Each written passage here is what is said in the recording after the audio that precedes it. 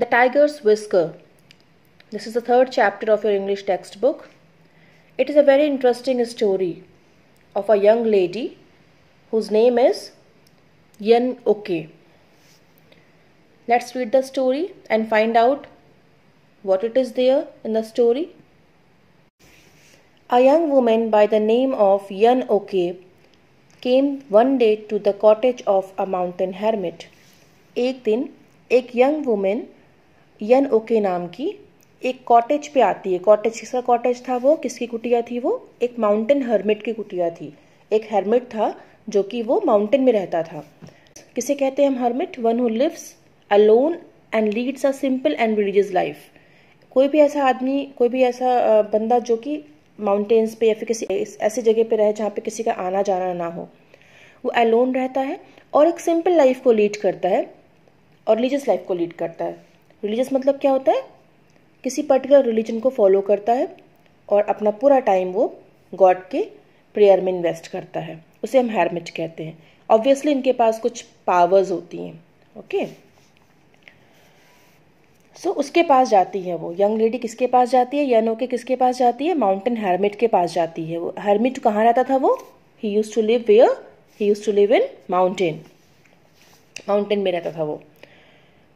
O holy father she said I am in deep distress वो बोलती है holy father मैं बहुत परेशान हूँ। I am in a deep distress distress means क्या होता है? ग्रेट वरी अनहैप्पीनेस या फिर suffering she was suffering actually वो सफ़र कर रही थी, वो हैप्पी नहीं थी. She was in a worry वो बहुत परेशान थी। तो वो अपना वो परेशानी वो एक्सप्रेस करती है किसके फ्रंट पे? होली फादर दैट हेरमिट के फ्रंट पे वो एक्सप्रेस करती है। बोलती है, फादर, मैं बहुत परेशान हूँ। If you do not help me I am truly lost और कहती है अगर आप मेरी हेल्प नहीं करेंगे तो मैं, सही, में बहुत ज़्यादा लॉस्ट हो जाऊँगी, मैं और अनहैप्पी हो जाऊँगी। और मुझे समझ नहीं आएगा, मुझे फिर आगे क्या करना चाहिए। Well what is your problem said the hermit फिर हेरमिट पूछता है कि, ठीक है, चलो बताओ, तुम्हारी प्रॉब्लम क्या है? O father said the women for the past three years my husband has been away fighting in the wars आगे बोलती है वो यनो के कि, फादर, मेरे हस्बैंड पिछले तीन सालों से फाइटिंग पे थे। वो वॉर्स फाइट कर रहे थे। वॉर में थे, लड़ाइयों में थे और वो युद्ध कर रहे थे। Now that he has return he hardly ever speaks to me और जब वो वापस आ चुके हैं तो मुझसे बहुत कम बातें करते हैं। कभी कभी बातें करते हैं, बहुत मुश्किल से थोड़ी बहुत बात करते हैं। He use to love me dearly but now he is a changed man पहले वो मुझे बहुत प्यार किया करते थे, लेकिन अब वो बहुत ज़्यादा चेंज हो चुके हैं। If I speak to him he doesn't seem to hear अगर मैं उनसे बातें करती हूँ तो वो सुनते ही नहीं हैं। If ever he talks to me he speaks very रफली और जब भी कभी मुझसे वो बातें अब करते हैं तो बहुत रफली बात करते हैं। वो प्यार से बात भी नहीं करते। Now he is a completely changed man पूरी तरीके से वो बदल चुके हैं after coming from that war field if the food is not to his liking खाना अगर उनकी पसंद का नहीं हुआ he pushes it away and leaves the room angrily तो खाने की थाली को पुश कर देते हैं, छोड़ देते हैं, धक्का मार के, और उस कमरे में से एंगरली बहुत गुस्से से निकल जाते हैं। तो ये सारे चेंजेस मेरे हस्बैंड पे आ चुके हैं। Dear it does happen sometimes said the hermit तो हर्मिट ने बोला कि हाँ ऐसा कभी कभी हो जाता है। When young man come back after the wars their hearts are full of bitterness जब कभी ये सोल्जर्स ये यंग मैन वापस आते हैं घर वॉर के बाद, युद्ध के बाद तो उनका हृदय बहुत ज़्यादा कड़वा हो जाता है because they use to see bloodshed everywhere soldiers lying here and there dead bodies यहाँ वहाँ पड़ी रहती हैं तो बहुत ज़्यादा कड़वे हो जाते हैं फ्रस्ट्रेटेड फील करते हैं। Father please give me some potion that will make my husband loving and gentle as he use to be now further वो क्या बोलती हैं यानोके यानोके बोलती हैं कि, फादर, आप मेरी प्लीज़ हेल्प करिए और मुझे एक पोशन बना के दीजिए, जिससे कि मेरे हस्बैंड फिर से लविंग और जेंटल पहले की तरह शांत और लविंग मैन बन जाए. Now what is the meaning of potion here potion P O T I O N potion means a liquid with magical powers तो हैरबिट के पास कुछ मैजिकल पावर्स थी, उसके पास काफ़ी सारा नॉलेज था तो उसने वो, उससे बोला यनोके ने बोला कि father, holy father, please give me a potion. आप मुझे एक पोशन बना के दीजिए, जिसमें मैजिकल पावर्स हो, और जब मैं अपने हस्बैंड को वो पोशन पिलाऊं, या फिर प्रोवाइड करूँ तो वो ठीक हो जाएँ, और पहले की तरह लविंग और जेंटल बन जाएँ। A potion for your husband said the hermit well come back after three days and I will tell you what I shall need for such a potion फिर हर्मिट बोलते हैं, ठीक है, पोशन तुम्हारे हस्बैंड के लिए बनाना है।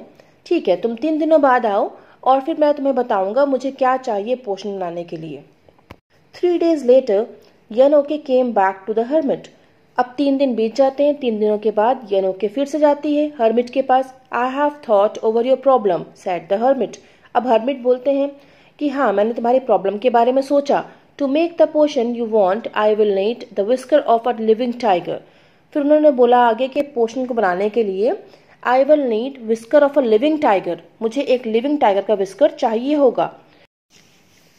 Bring a living tiger's whisker and I will make the potion you want फिर उन्होंने बोला हरमिट ने बोला कि मेरे लिए लिविंग टाइगर का विस्कर लेके आओ। वो टाइगर का विस्कर चाहिए मुझे जो जो कि लिविंग हो। जीवित टाइगर का विस्कर चाहिए और तुम्हारे लिए मैं वो पोशन बना के दूँगा, वो जो तुम्हें चाहिए। Now here the word come whisker whisker meaning क्या होता है? Any of the long stiff hair कोई भी लंबा सा स्टिफ हेयर बाल, जो कि माउथ के आसपास उगता है एनिमल्स के माउथ के अगल बगल जो बाल उग जाते हैं, उसे हम विस्कर कहते हैं। तो लिविंग टायर का विस्कर किसने मंगाया था? हेरमिट ने मंगाया था। क्या बनाने के लिए? पोषण बनाने के लिए। पोषण किसको चाहिए था? यनोके को, अपने हस्बैंड के लिए चाहिए था। The whisker of a living tiger said the women in surprise अब वो बहुत सरप्राइज़ हो जाती है अचंबित रह जाती है, बोलती है आपको विस्कर चाहिए, वो भी लिविंग टाइगर का? How could it be possible for me to get such a thing मेरे लिए कैसे पॉसिबल होगा हरमिट ये चीज़ें लेके आना। लिविंग टाइगर कैसे कटवाएगा अपना विस्कर बताइए? It's a very difficult thing ना? तो बहुत सरप्राइज़ हो जाती है सुन के कि इनको क्या चाहिए? लिविंग टाइगर का विस्कर चाहिए पोषण बनाने के लिए। You will find it if you think the potion is really important said the hermit अब हर्मिट ने बोला कि आपको अगर पोषण चाहिए तो आपके लिए अगर उतना इम्पोर्टेंट है पोषण तो आपको डेफिनेटली वो लेके आना पड़ेगा और आपको मिल भी जाएगा। आप उसको खोज लोगे। Then he stood up and walked out of his cottage इतना कह के वो हर्मिट खड़े हो जाते हैं और अपनी कुटिया से अपने कॉटेज से बाहर निकल जाते हैं। यनोके वेंट बैक होम फिर यनोके घर जाती है वापस। She thought a great deal about how she could get a tiger's whisker वो अब सोचने लग जाती है कि मैं कैसे प्राप्त करूँगी, कैसे मुझे मिलेगा टाइगर का whisker it's a very difficult and hard to find then one night फिर एक रात when her husband was asleep जब उसके हस्बैंड सो रहे थे शी क्वाइटली क्रेप्ट वो चुपचाप से स्लोली मूव आउट कर जाती है, बाहर निकल जाती है अपने घर के from her house with a bowl of meat in her hand अपने हाथ में वो क्या लेके बाहर निकलती है? एक कटोरी में मीट लेके बाहर जाती है वो मीट यानी मांस। Tiger use to use flesh ना टाइगर्स क्या खाते हैं? फ्लैश खाते हैं। तो मीट लेके किसमें जाती है वो? बाउल में लेके चली जाती है। She went to a place in the forest where a tiger was known to live वो एक ऐसी जगह पे जाती है जहाँ पर ये माना जाता था कि टाइगर यहाँ पर रहता है। Standing far off from the tiger's cave she held out the bowl of food towards the tiger दूर पे खड़े हो जाती है वो जाके वहाँ पर। किसके केव के बाहर? टाइगर के केव के बाहर वो दूर पे जाके खड़ी हो जाती है।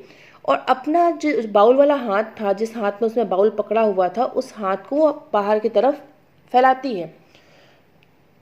टाइगर की ओर फैलाती है towards the tiger the tiger looked at it tiger ने उस मीट के बाउल को देखा but did not move at all लेकिन वो अपनी जगह से हिला नहीं।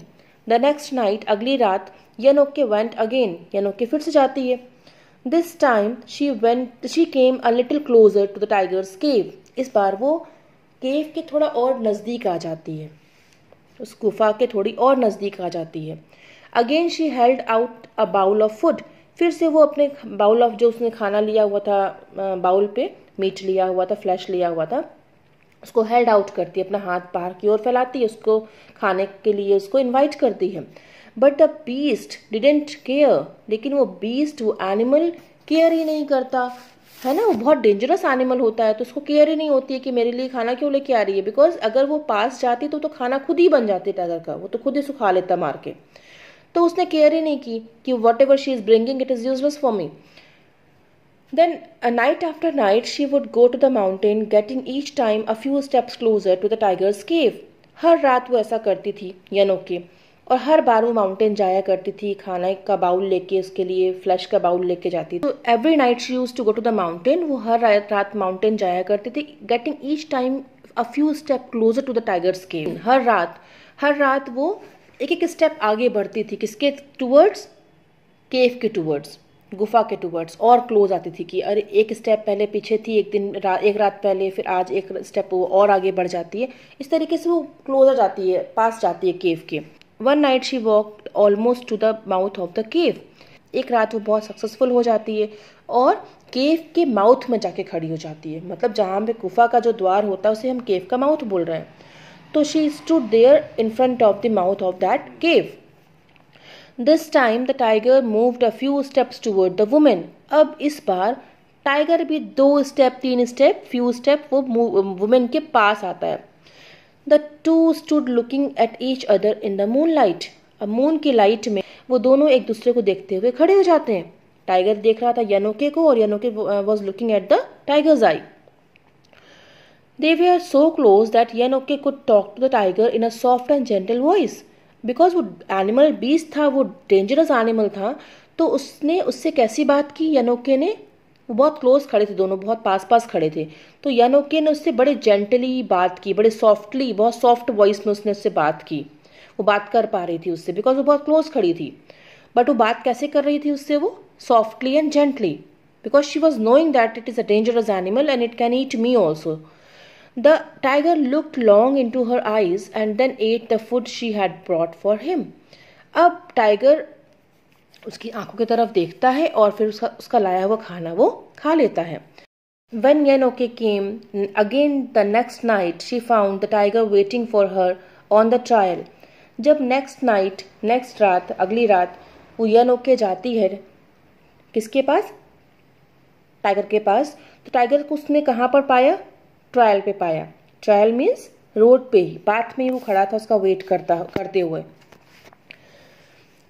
After the tiger had eaten the food brought for him, Yan Oke kissed his head gently with her hands.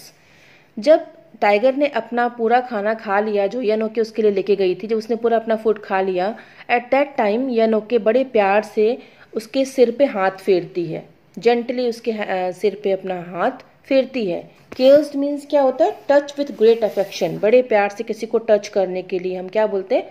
In English it is called as caressed तो she caressed his head gently with her hands तो उसने बड़े प्यार से उसके सिर में अपना हाथ फेरा। This continued for many days ऐसा बहुत दिनों तक चलता रहा। Then one night caressing the tiger's head lovingly Yun Ok said oh gentle tiger I want one of your whiskers उसने बोला टाइगर से बड़े प्यार से सिर में उसके हाथ फेरते हुए बोला लवंगली उसने आ, सिर में उसके हाथ फेरा और बोला कि ओ जेंटल टाइगर ओ प्यारे से शांत टाइगर मुझे तुम्हारा एक विस्कर चाहिए। Please don't be angry when I have it please नाराज़ मत होना जब मैं तुम्हारे माउथ से तुम्हारे विस्कर को कट ऑफ़ करूँगी और उसको लूँगी अपने पास। And she snipped off one of the tiger's whisker और इतना कह के उसने सीजर से स्निप्ड कर लिया। स्निप्ड ऑफ़ मतलब to cut with a scissor तो उसने टाइगर का एक विस्कर टाइगर का एक बाल अब उसके माउथ के अगल बगल के जो बाल थे उसमें से एक विस्कर उसने स्निप ऑफ़ कर लिया मतलब कि कट ऑफ़ कर लिया the tiger was not angry at all tiger बिल्कुल भी गुस्सा नहीं हुआ next morning she went running to the hermit's cottage and said, Holy Father, I have got what you needed for the potion. I have got the tiger's whisker. अगले सुबह सुबह सुबह early एकदम अर्ली अर्ली मॉर्निंग वो जाती है किसके cottage पे? हेरमिट के कॉटेज पे जाती है और बोलती है होली फादर आपको जो भी चाहिए था पोषण बनाने के लिए, वो मैं लेके आई हूँ। मेरे को टाइगर का विस्कर मिल गया है। The hermit took the whisker and dropped it into the fire burning in his cottage और उसको वन मंथ की इतनी कड़ी तपस्या के बाद, इतनी हार्ड वर्क के बाद शी गॉट दैट विस्कर ना उसको बड़ी मेहनत से विस्कर मिला था। And what did the hermit do उसने हर्मिट ने क्या किया? उस विस्कर के साथ में ही टुक दैट विस्कर उसने विस्कर को उठाया and drop it into the fire burning in a cottage और उसने अपनी आग, अपनी कुटिया में जो उसने आग लगा रखी थी, एक छोटा सा प्लेस में उसने आग लगा के रखी हुई थी, और उस जलती हुई आग में उसने टायर का विस्कर ड्रॉप कर दिया। ओ sir the young woman cried what have you done आपने क्या किया ये? वो चिल्ला के बोलती है, अरे सर, आपने क्या किया? I have got it after so much effort मैं इस बिस्कर को बहुत सारे एफर्ट्स के बाद लेके आ पाई थी। मैंने बहुत मेहनत की थी इसके, इसको पाने के लिए। Tell me how you got it मुझे बताओ तुमने कैसे इसको प्राप्त किया था? सेट द हर्मिट हर्मिट ने बोला every night I went to the tiger living in the mountain side I would take me with me a bowl of food but I was afraid and kept a good distance from the tiger हर रात में tiger के लिए एक tiger के लिए पास जाया करते थे, जो कि एक माउंटेन साइड पे रहता था। माउंटेन में मुझे जाना पड़ता था उसको मिलने के लिए। I would take with me a bowl of food और मैं अपने साथ एक बाउल खाना लेके जाया करती थी उसके लिए फ्लश लेके जाया करती थी उसके लिए। बट आई वॉज़ अफ्रेड और मैं बहुत डरती थी, इसीलिए उससे डिस्टेंस पे खड़ी होती थी, बहुत दूर पे खड़ी होती थी। By and by I overcame my fear and went a little closer धीरे धीरे करके मैंने अपने डर पे जीत प्राप्त कर ली और उसके पास गई। At last one night tiger ate the food I had brought for him और एक लास्टली फिर टाइगर ने वो खाना खाया जो मैं उसके लिए रोज ले जाया करती थी। uh, वो एक दिन उसने खा लिया। Then a time came when he would stand on the trail और फिर एक दिन ऐसा हुआ कि वो ट्रायल पे खड़ा हुआ था वो रास्ते पे खड़ा हुआ था मेरा वेट कर रहा था। He was waiting for me there he would eat out of the bowl in my hand और वो खाना उसने पूरा खा लिया जो मैं उसके लिए लेके गई थी। And then it was not difficult for me to have one of his whiskers फिर मेरे लिए डिफ़िकल्ट नहीं था। फिर मैंने आसानी से उसका बिस्कर प्राप्त कर लिया। उसके uh, सिर में लविंगली हाथ फेरा और उसके उसके माउथ के पास से एक बिस्कर मैंने उसका उसका स्निप्ट ऑफ़ कर लिया। So you won the tiger's confidence through your love said the hermit अच्छा उसको बोला तुमने उस टाइगर का कॉन्फिडेंस जीत लिया किससे? अपने प्यार से।